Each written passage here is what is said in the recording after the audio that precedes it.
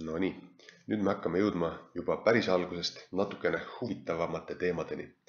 ja täna räägime muutujatest. nii äh,. muutujad on põhimõtteliselt siuksed äh, kohad meie koodis, kus me saame mingisugust infot talletada. ja see muutuja sees olev info võib olla ükskõik missugusest tüübist. näiteks teeme ühe näite muutuja muutuja tegemiseks tuleb valida mingi muutuja nimi ja siis võrdusmärk ja siis tema sisu. näiteks teeme muutuja, mille sisu on string tere. ja nüüd, kui me tahame teada, mis seal muutuja sees on, siis me võime lihtsalt kirjutada muutuja ja ta prindib meile välja tere. nüüd muutuja nimi võib olla põhimõtteliselt ükskõik mis ähm,. näiteks tervitus on võrdne string tere või vaatame üle, jah, tervitus on ikka tere. või siis A1 on võrdne tere.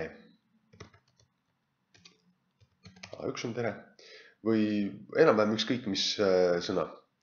nüüd äh, nende videote jooksul mina reeglina kasutan eestikeelseid sõnu seal, kus me võime ise ükskõik mis asja panna. et äh, ingliskeelsete sõnadega võib esindada väikseid probleeme.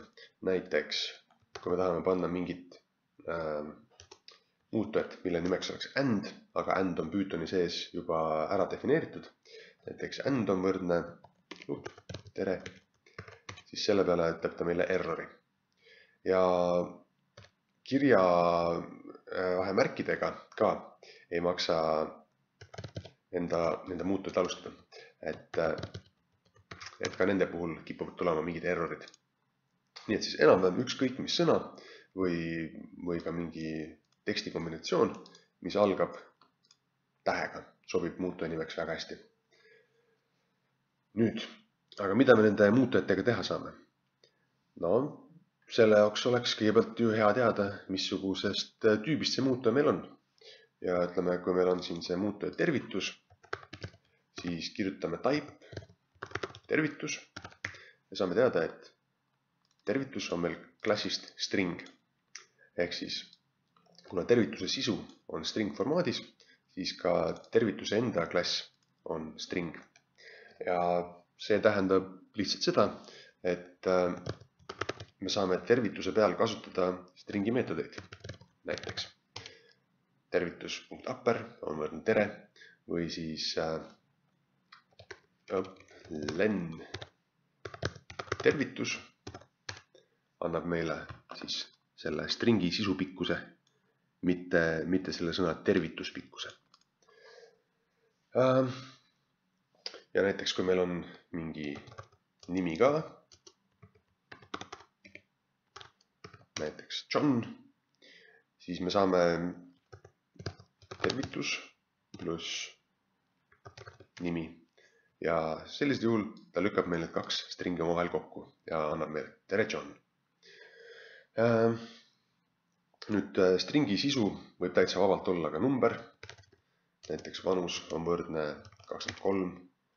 sellisel juhul loomulikult vanuse tüüp on int või siis näiteks skoor on võrdne null, skoor null ja tema tüüp on samuti int. nüüd äh, näiteks kui meil äh, ongi mingisugune mäng, milles me peame skoori, siis alguses on skoor null, aga näiteks mingi hetk keegi lööb värava. siis võiks ju olla nii, et skoor pluss üks annab meile üks. väga hea. aga nüüd äh, tasub tähele panna, et praegu me ei muutnud skoori enda väärtust, vaid lihtsalt tegime matemaatikat. ehk skoor ise jäi meil ikka veel nulliks.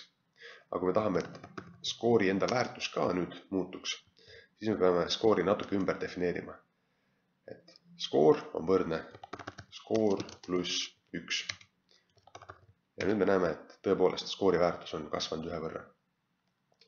sedasama skoor on võrdne skoor pluss üks, seda me võime ka kirjutada natukene lihtsamalt, natuke lühidamalt. skoor pluss võrdub üks ja tõepoolest, skoori väärtus on ühe võrra kasvanud, ehk nüüd on skoor kaks. ja niisugust sama kirjapilti me võime ka muude äh, matemaatikatehete puhul kasutada. näiteks skoor kordub, võrdub viiega. et kui skoor peaks viiekordistuma, siis vajutame enter ja uus skoor on meil kümme. niimoodi me saame muutujat ennast muuta. nüüd äh, mida me veel saame teha näiteks, on see, et äh, jah, lihtsalt matemaatikat ka erinevate muutujate vahel.